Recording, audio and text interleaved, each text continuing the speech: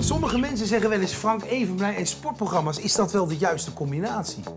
Maar ja, moet je een goed acteur zijn om een filmprogramma te presenteren? En ik heb altijd wel heel veel gesport.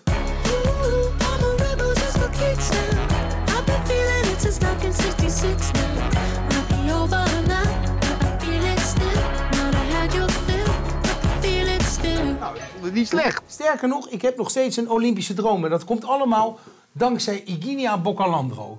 Een vrouw met hetzelfde sportpostuur als ik, die ooit meedeed aan de Olympische Winterspelen.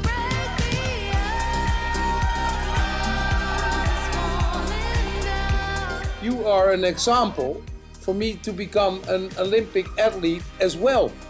my mom said, Why don't you do a sport? And that's when I said to my mother, You know, I'm too old, I'm too broke, I'm too fat. To, I said to my mom, Okay, find a sport where the winner looks, has my body type.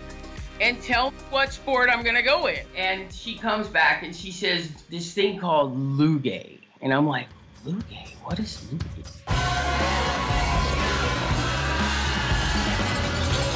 It's like some kind of like water slide with ice on it and they go really fast. So my coach had been calling me and then he starts laughing and he goes, You would be perfect for the luge. Because you were a bit overweighted, Yeah. does it make you faster? Because always uh, when I'm in the Yeah. tropical swim paradise on the slide, I'm Yes. always the first to go down. No, absolutely. Every two pounds becomes four. Yeah, yeah. Because weighing 30 pounds or 40 pounds more than anybody gives you a huge advantage. Is it not much more dangerous? No!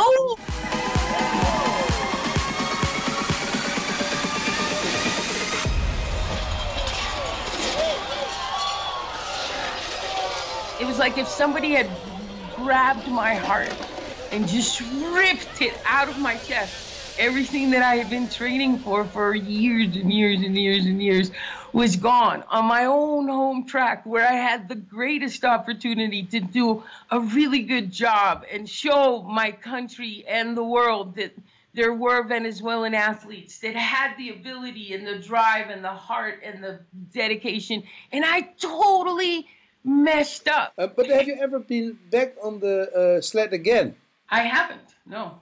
I'd like to take you on that track. Do you want to come next year? and do it together? Yeah, no, I'm not gonna go in the sled with you. You have to drive your own sled. Oh, f- only for one time with me? sled. No, no, no. You gotta drive your own sled. Well, I'll think about it.